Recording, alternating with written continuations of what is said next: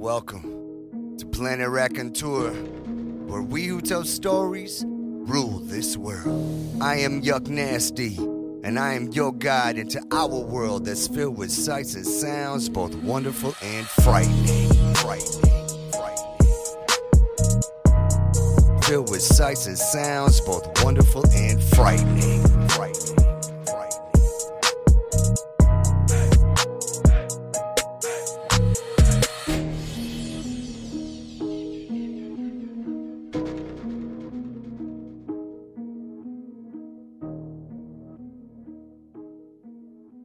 Palindrome by W. Sean Arthur. Mike pushed through the door, closing it carefully behind him. It was cold outside. Evening, Joe, he said.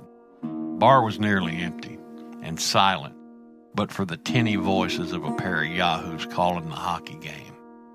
Mike glanced over for the score. Few patrons studiously avoided his eyes. For a moment, Mike just sat. He was so tired. Tired of cleaning up everybody else's screw ups. Tired of unraveling their twists, their tangles, and their snags. He was tired of Time Guard. He nodded at Joe. Joe grimaced, but poured out a small glass of whiskey and slid it across the bar. Bushmills, the good stuff. One shot was all he needed. After all, he was a professional. Smoke drifted across the bar, stinging his eyes, and Mike blinked as he patted his sidearm. Mike then leaned back, reached for his gun again, and looked down the bar at the man he'd come to find. Well, said the man, I guess that's it then.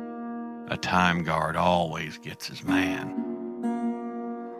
I suppose the only way out is to kill you. It's too bad. You remind me of me, in a way. Only one of us has a gun. Mike patted his sidearm again. True. So, you making a move or not? Man cocked an eyebrow. Not. For the moment, anyway. Time here is messed up good. Could go around several loops, maybe in different directions, even. Yep, the man said. Palindromic time snag. Not much fun when you're stuck in it. Feels like going backwards. Except things are happening differently. It's like being pushed through it. Damn it. Not again. Palindromic snag. Hell.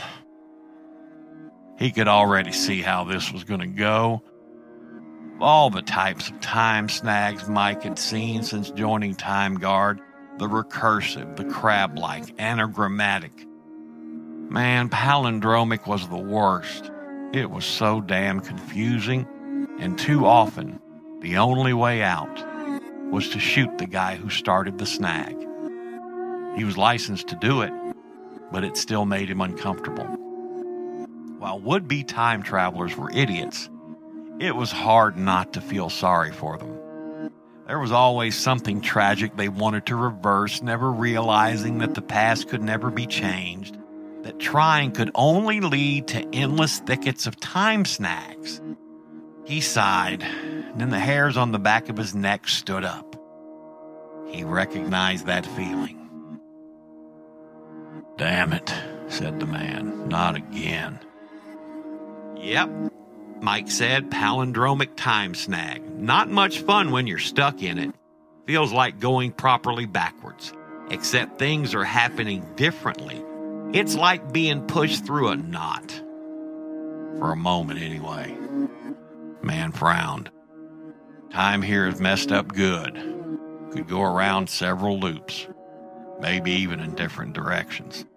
True? So you making a move or not? Mike cocked an eyebrow. Only one of us has a gun. The man gestured at Mike's sidearm. I suppose the only way out is to kill you. It's too bad. You remind me of me, in a way. A time guard always gets his man. Well, that's it then. Mike leaned back, reached for his gun again, and looked down the bar at the man he'd come to find. One shot was all he needed. He was, after all, a professional. Smoke drifted across the bar, stinging his eyes, and Mike blinked as he patted his sidearm into position. He nodded at Joe. Joe grimaced, but poured out a small glass of whiskey and slid it across the bar. Bushmills, the good stuff.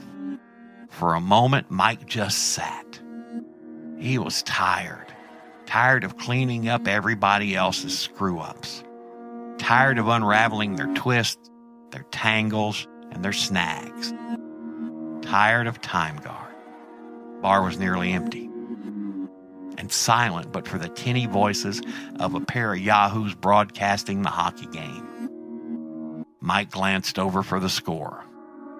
The few patrons studiously avoided his eyes. Evening, Joe. Mike pushed through the door, closing it carefully behind him.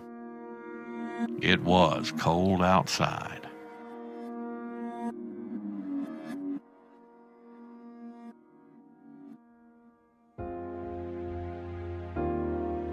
This next story is for all of you authors out there. I believe that you are the only ones that will understand. This is the story that devours itself by Michelle Muenzier. This is not a regular story. This is a hungry story, built of words with tongues of glass and cracked marbles for eyes. You think you know this story. You think you've heard it before, but you haven't. It only sounds like the one you know with its crunch, crunch, crunching of plot laced bones and its smack, smack, smacking of fat story lips. There used to be characters in this story, but they were the first to go. Swallowed down its story gullet. Two of them screamed and declared their eternal love for each other, the third one merely laughed and vowed one day to return. There also used to be a setting. Not a very good one, mind you, but solid enough to serve its purpose. That too was eaten. Mashed into a paste of generic trees and endless airports and washed down with a maudlin shot of rain. No one misses that setting, though, or the characters, if we must be totally honest. Certainly not the story. Certainly not me. To be fair, the story has tried to create as much as it has eaten. Sucked sugar off three act arcs until his head near exploded. Molded fleshy outlines to show off to its friends when its friends still visited. Only to debone the outlines hours later and watch their skin slough uselessly to the floor. Once it even tried dialogue, a casual hello left adrift to the void where its apartment had been a week earlier. 51B, in case you were wondering. And no, nobody responded. The story also tried to liven things with mood and tone, with analogy and metaphor. It clung to rocky cliffs, peaked and pitted by tongues of salt while seabirds wheeled tirelessly overhead. It heaved beneath the weight of olive trees bowed with fruit, sweet oil dripping down its back. But that too is now gone. It's all devoured. Most everything that made the story what it was, that told it what to be, all the bits chomped and chewed and swallowed into an over masticated mush. Very little remains of the story now, just two simple elements its hunger and me. I must admit to being a bit selfish at this point. I've argued with the story for days about the importance of narrators. Without us, a story can no longer be a story. Somebody must tell the words, must provide perspective, relay the wishes of the story to the world abroad, right? Yeah, of course I'm right. I'm the narrator after all and I know my job better than anyone. But I saw the way the story eyed me last night. I saw hunger giggling in its ear while they both drank cheap wine created just for the occasion. The story didn't make wine for me, not even an empty cup. And now I have another invitation to visit the story tonight. It told me not to bother bringing a gift, to just bring myself and don't be late. I tried declining. I did decline, but the words were swallowed before they left my mouth. Consumed by the story's desire for completion, for resolution.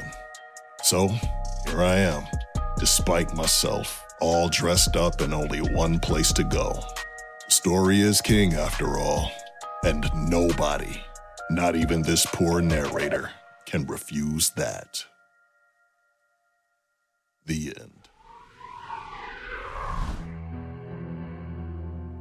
This is part two of Ignor and Dr. Finkelstein by A.C. Salter.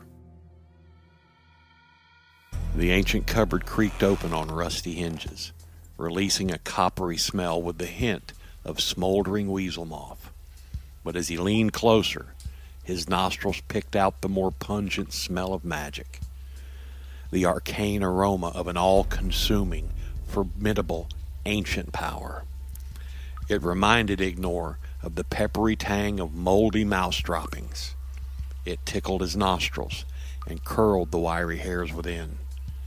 Ignoring the unpleasant feeling creeping down his spine, he gathered all the required ingredients. And be careful, Ignor, with those troll salts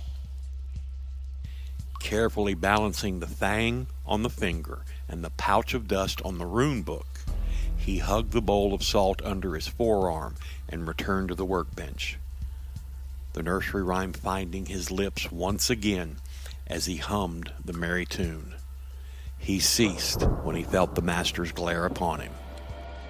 Now spread the salt evenly around the crystal, Dr. Finkelstein directed, reading from the Book of Runes.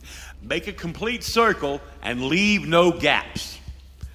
Ignor did as instructed, biting his tongue in concentration as he climbed around the wooden slab. Very good. Now place the finger to the north of the circle and the fang to the south. The doctor commanded, shaking his head as Ignor set the pieces down wrong. Picked them up and placed them correctly. It's my fault. I forget that you are full of bliss. Mm, forgive me, Master. No need, Ignor. I created you, so the fault lies with me. After the crystal has bestowed its power upon myself, I might grant you with higher intelligence. Although this may be more of a curse than a gift, how I often wish I could experience your mindlessness Anyway, I digress. Pass me the fairy dust. Ignor watched in awe as his master held the book in one hand while pouring the fairy dust with the other, making swirling runes around the circle while chanting an old spell. It had been an interesting year after Dr. Finkelstein decided to research the occult a decision he came to after realizing that everything he invented or created had failed. There was a flaw with all he put his hands to in the modern world of man. So his interest began to lead him into the darker arts. He visited the elders of the arcane library of magic and spent two months locked in their deepest vault, reading books, tomes, and scrolls from around the world. He had gathered information about a powerful genie that had been trapped in an amber diamond, a power that could be harnessed by only the cleverest, most brilliant, and daring of men. Of course, the doctor realized that this was he himself. It could be no other. The rest of the year had been a tumultuous one finding the crystal itself, making deals with witches and wizards on how to extract the power, trading and dealing with warlocks for spells, and scavenging the tools needed. Ignor viewed how the fairy dust glistened and sparkled. It was beautiful. Yet he was sickened when the master explained that the dust was made from grinding down the fairies themselves, which he had captured in the Ferosian forest. Every part was used except the wings. Those he kept on display on the wall, each perfect set pinned to a frame board of felt. When the lightning forked across the night, it lit up, the flickering shadows making wings appear as if they were fluttering. Concentrate now, Ignor. It's almost time. Connect the silver wire to the top of the diamond and be careful not to disturb the ruins or the salt. Yes, Master. Ignor replied as he lifted the silver cord which was attached to the pole that rose out of the laboratory. Rain ran down the shaft in swift rivulets, forming silver beads before splattering onto the floor. On the end of the wire was a screw, which he inserted into the top of the crystal holder, the silver thread brushing the uppermost face of the diamond. It sparked a memory. He had something important to tell the master. But, Master Wade, I must tell you. Not now, Ignor. Can't you see that the moment has arrived? Look! Ignor craned his head back as far as it would go, the stitches in his neck straining as he gazed up where the doctor was pointing. Thunder roared through the heavens, sucking the wind from Ignor's chest. Then the sky flashed once again, bleaching the world white before throwing it into darkness. Now stand back and watch history unfold. Observe, my loyal servant, for I am about to gain the powers of the genie. But, Master. Silence! Ignor slammed his mouth shut, his single tooth biting through his tongue. He tasted blood, the same viscous fluid which dripped from the wound in his palm where the tip of the crystal lay buried. It's fine, he told himself the single thought bouncing around the bliss inside his head. I can always tell the master afterwards. Patiently, he watched as the doctor, still balancing the book in one hand, placed the palm of the other beneath the diamond. Pain twisted his mouth as he pressed his hand up into the sharp crystal. Then, forcing his grimace away, he began to recite the spell from the old pages. Genie trapped within the stone, I release you from your crystal throne. Your power is what I demand. Bestow it to me through my hand. Ignor leapt with fright as the laboratory exploded with light. The pole began to shake violently as lightning surged down the shaft. The metal screamed in protest as the charge carried on through, following the path of the silver thread before infusing inside the diamond. The crystal brightened like a lamp made from the sun itself, forcing Ignor's eyes shut, yet he could still see the terror unfold in silhouettes through his eyelids. The fairy dust spat and bubbled as the runes began to swim in circles around the salt. The fiend's fang vibrated as it spun clockwise, while the finger began to turn in the other direction. it's working! Dr. Finkelstein said, so excited, his maniacal grin widening as the crystal grew in size, breaking from the device before rising from the bench, the master's hand pressing into its sharp underside. A fierce wind tore through the chamber, picking up speed along with scraps of paper and dust.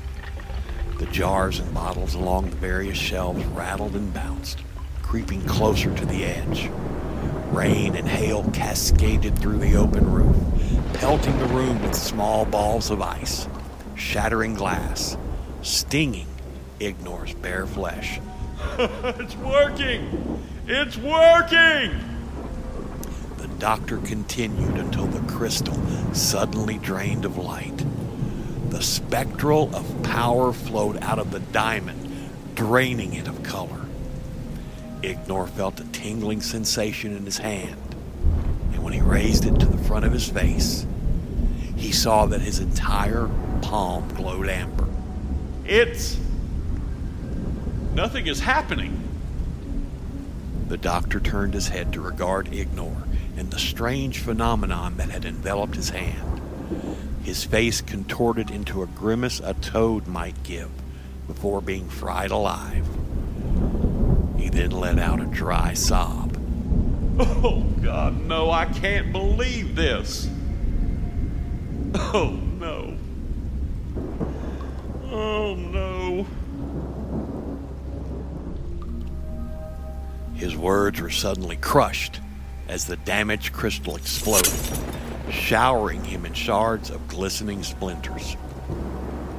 Dr. Finkelstein's body, along with the salt, fairy dust, finger, and fang, were flung against the wall, the god cycle being knocked over in the process. Ignor stared at his master's unmoving body and the laboratory detritus that lay above his limp form.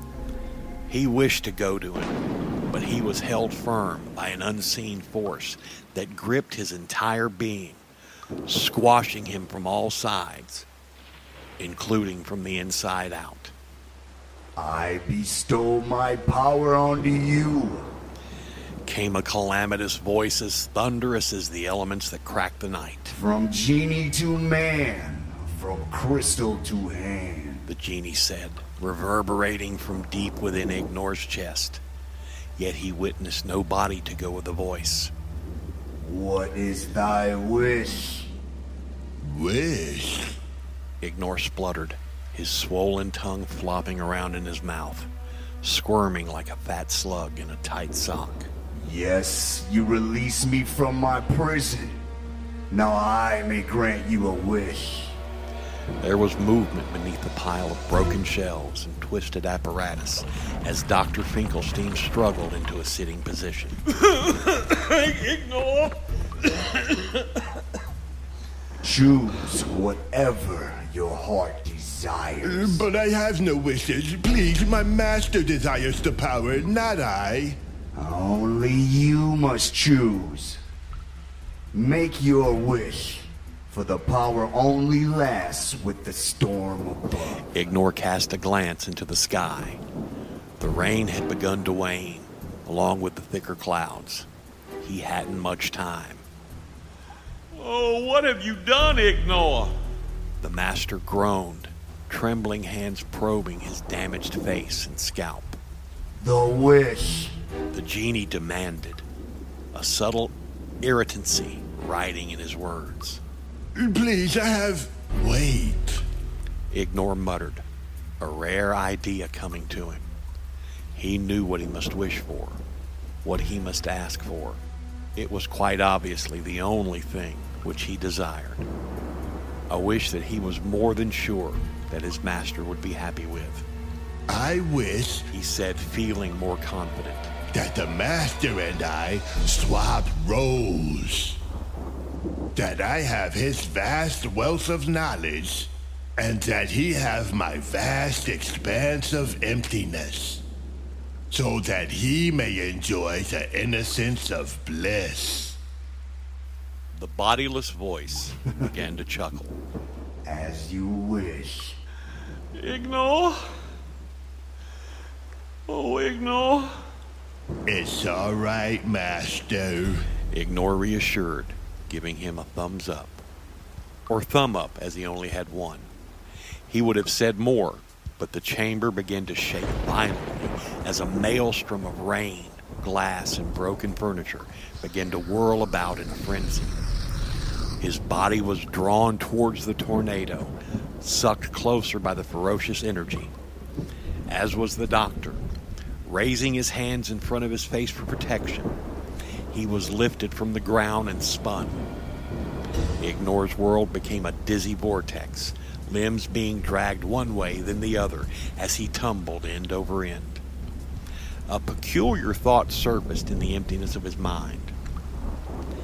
The image of the outside world, a place he had no experiences of, It was swiftly followed by another, this one of joy, an emotion that was alien to him, that was born of his first invention that worked. The hair on his flesh rose in mottled goosebumps as more thoughts and memories sprang into being, all whirling around the confines of his head more ferociously than the tornado that danced with his body. Happiness, glee, stars, moons, loss, sorrow, hate, failure, graveyards, death. The storm that raged in his head ceased with the storm that seethed inside the laboratory and he fell to the ground with a thump. As the object settled around him, he heard the chuckling voice of the genie taper off until it vanished completely. The wish had been fulfilled. Gazing about at the mess around him, he became aware of an ugly creature that sat on the floor. Short and squat, its face was a crisscross of hideous stitches the skin itself pulled tight and puckered in the wrong places. Opening its mouth, it wet its broken lips and moaned. There was no more intelligence coming from it than from the grunt of a dying pig. Ignor offered it a sad smile as he lifted the broken goggles from its head. Master? He began but now his highly intellectual mind told him that he could no longer call the man before him master. But what should he call the being that was formerly Dr. Finkelstein? Bliss, do you understand me? He asked, but was greeted with another moan, slack features staring up at the moon as it appeared through the broken clouds. Ignor clambered to his feet and dusted himself down. He was happy to find that his new clothes consisted of a smart, comfortable pair of breeches, high quality boots, and a silk shirt bristling with lace beneath a velvet waistcoat. Very dapper, he mused. Then, giving his hands a second glance, he noticed that his missing thumb had been returned. The aches in his body had vanished, along with the stitches that held the patchwork of his mismatched pieces together. Hmm. Hey. How delightful. Sang in a rich baritone voice. Feeling a flow of divine ecstasy pulse through him, he crossed the chamber, flung the door open. Fresh air washed over him as he held his arms out to embrace his freedom. Ignor had never stepped foot out of the castle grounds, and he was itching to begin his new adventure around the world. He placed one foot in front of the other, thrilled not to feel any pain with the movement. Then a moan from behind him made him pause, swaying on unsteady legs. One being longer than the other was his former master. You should be delighted, Bliss. This is what you've always wanted.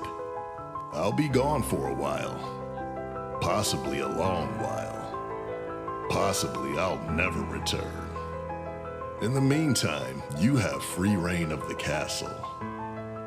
But I must warn you that you shouldn't go having any thoughts. Thoughts are dangerous, and you don't want too many of them fluttering around in your empty head. They'll chase away the bliss. It's not what you would have wanted. Bliss moaned. Whether he understood or not, Ignor couldn't say. Might I suggest that you try a pickled bog sprout? You are, of course, permitted to have a little joy in your life. and leaving his rich words echoing in the laboratory, Ignor strode away to fill his head with the world. The end. Well, there you go. Another trip to Planet Raconteur. On behalf of myself and our other two fine raconteurs, Papa Dave and Bobby Anthem, we would like to thank you for listening. All of the stories presented on Planet Raconteur are used by permission or are in the public domain. Check out the show notes for the details on the authors, their websites, and their other releases. Hey, much love, and thanks again for visiting the Planet Raconteur.